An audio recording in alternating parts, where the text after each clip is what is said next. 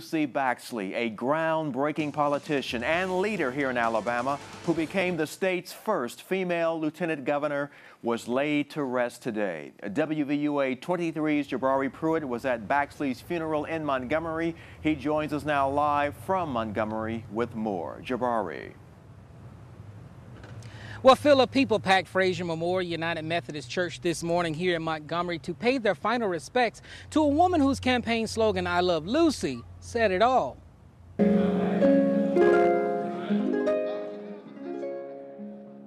Lucy Baxley, one of the most popular female politicians in Alabama. She's described as a woman with a big smile, a big heart, and a woman who loved politics. She died peacefully Friday, surrounded by her family in Birmingham. Wednesday at Frazer Memorial United Methodist Church, hundreds gathered to celebrate Lucy's life. This is a very difficult day for the people of Alabama. Lucy Baxley was a most loved figure in Alabama politics. Lucy Baxley's political career began in 1994.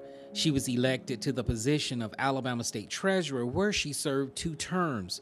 A lifelong Democrat, she also served as a delegate to the 1996 Democratic National Convention. In 2002, she made history by becoming Alabama's first female lieutenant governor. And in 2006, she was nominated as the Democratic candidate for governor. In that same year, Baxley suffered a stroke, which confined her to a wheelchair. After two years, she was elected as president of the Public Service Commission, something her son, Louis Baxley, says is an inspiration. The people of this state to allow her to serve them uh, with the capacity that they allowed her to, uh, with the utmost honesty and integrity, and it was such an honor, and uh, she's going to be missed by a lot of friends throughout this state. Her casket draped in red roses, her favorite color. Dignitaries from around the state paying their last respects to a woman with a catchy campaign slogan, I Love Lucy. She did an awesome job. She was a strong woman. Uh, she understood the policies and procedures of the of the Senate. Uh, she ruled with a with a strong gavel. She showed that women can provide great leadership here in the state of Alabama.